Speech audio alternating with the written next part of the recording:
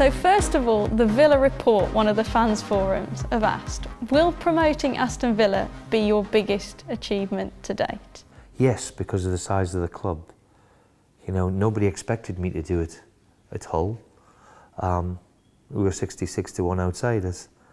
I would think we'd be one of the favourites at the start of the season. With favouritism becomes expectation, and that filters down to everybody. So it's me aim. I wouldn't have come here if I didn't think I could do it. So yes, I'd love to see this club back in the big league because that's where it needs to be. What are your views on safe standing? Well, I've seen it abroad in Germany and it works very, very well. Of course, we're all wary of standards and health and safety and all the rest of it in football grounds. I don't think there's quite like a little standing area. Um, so I'm, I'm all for it, as long as obviously it's safe and it's been proved in Germany that it is safe. Obviously you've got to put barriers in place and all the rest of it, but I'm all for it because I do think it adds a little bit. And of course, if it's cheaper for the supporters to stand rather than have seats, then I'm all for that too because we've got to be mindful of the fact that football's becoming very expensive. And there's people who maybe can't afford it who would love to come. So if that helps them too, then great.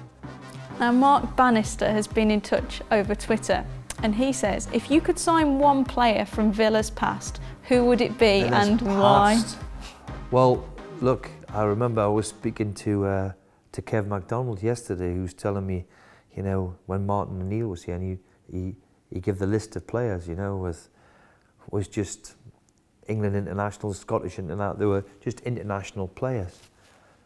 If I was going to go for one, then I had the privilege to play for him when he was, well, play with him when he was 18. We both played for England youth team. And I remember playing with him at the time thinking, what a player he is. And unfortunately, he got caught short with injury. And I think now if I could have Gary Shaw as my centre forward, then I'll be delighted about that. But when I think of Staunton and Petrov and, and uh, Downing and it's endless, the list of really good players who've played for this club. Um, but it, maybe a bit sentimental then, go for Gary Shaw. Jacob Fennell wants to know what attracted you to our club considering at the time of taking over we were in a negative run of form? Aston Villa was a no-brainer. Um, I was possibly, I'm not going to be conceited here, but I was hoping that I would maybe get a phone call from a Premier League club. When Aston Villa called, in my eyes, then they are a Premier League club. We are a Premier League club, and hopefully we'll get there eventually. Um, but I had no hesitation. It was uh, because of the size and the stature and the nature of the club, and I was I hope that I can be the one that puts it back on its feet. Gary Costello has also tweeted in and he said, did Fergie bribe the ref at Old Trafford in 93 against Sheffield Wednesday to add on those seven minutes well, of injury you time? know, I forgot all about it, that we were, that Villa, we were up against Villa at the time for the title, of course. Um, um, but if you do, if you, if you do analyse it, the actual change, how it was six, seven minutes, was the referee or the linesman got injured. So that's where the six or seven minutes came from. And you actually, when you when you analyse the game over again, even though Villa fans won't like me for saying it, that's why the delay was the six, seven minutes, which enabled me to score them a couple of goals. Hayden Frogger asks, what has been the toughest challenge you have had to face as Villa manager so far? Well, it's not great when you lose five on the spin, because that shouldn't happen. Uh, I think the biggest challenge, uh, the biggest challenge was trying to lift everybody because there's been change and too much change and, and no stability. Then whether you're in the media department or whether you're in the ground staff or whether you're a player or a, um, a member of my staff, whether you're a first team coach, wherever you are, if you are unstable in your position, thinking over, looking over your shoulder, thinking, am I going to lose my job? Which a lot of people have in the club. And I detected that when I walked through the, the through the door, that everybody seemed to be on edge, and there was. So the biggest challenge was trying to get everybody to come and work together, and try and be and give that bit of stability. Now, the only way I can get stability, I'm not naive enough to think I have to get a few results. But the most important thing for me is that everybody who comes and works at the club now enjoys working at the club because for too long they've had it tough looking over their shoulders. Are we going to lose our job? Is it going to be me this week? Is it going to be me this month? New manager coming in. Does he want his own people in? I think that was the biggest challenge of getting everybody on the on the same page and singing off the same hymn sheet. Now Liam McCallion has also been in touch and he asks, where do you see the club in five years' time? Well, in five years' time, hopefully I'm retired. five years, this club would do me fantastic and we're in, we're in back in and amongst the Premier League and back into being in amongst it again. I think that's where we've got to try and achieve. It's going to be very difficult to try and break into the top six or seven of the Premier League. I think that is got to be the aim. But as we found out now, the, the colossal sums of money that's going around, very difficult.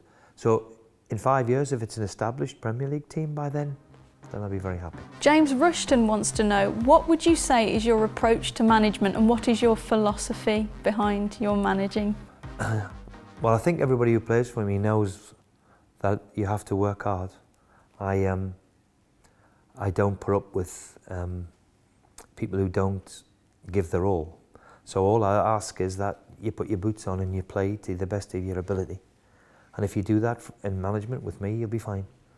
If you don't, then I don't put up with it. So that basically it. And I want people to enjoy themselves. I never ask anybody anything that I wouldn't be prepared to do myself. So I'm pretty straightforward like that. I want people to enjoy coming to work, enjoy playing, especially, and playing for a club like this. You know, it should be, and it is, the best days of their lives.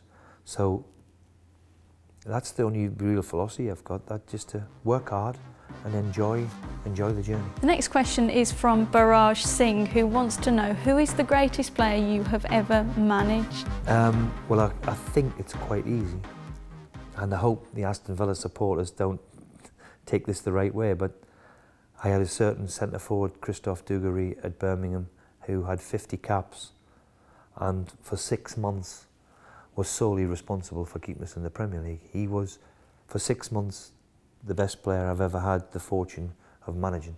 A French international had bit of that little bit of flair, that little bit of uh, extravagance, a little bit. He had the lot. He was the complete player, a little bit up here mad, but that added to him. He was certainly the best player I've been able to manage. And Chloe has asked, what is your favourite thing about managing Aston Villa? well, look, they won us the game Saturday at Wigan. If we hadn't had 5,000 behind the goal, I'm not so sure we might have gone on to win the, the match. I'll never know that. But I think that is the biggest thing of, man, of the, the size of the club. You realise when you walk through the door, doors of what a big club it is. So as I've said many, many times, I've waited for a long time to manage a club like this. So the support, the challenge of getting the club in the Premier League, um, but mainly the size of the club is, uh, is what I enjoy most. Tell us what it was like to play against Barcelona, against the likes of Romario and players of that ilk. Well, I was fortunate. I was fortunate, and you know the big occasions in your life, and big games anyway, one was against Barcelona in the Champions League, where I had probably the worst evening of my life trying to mark Romario.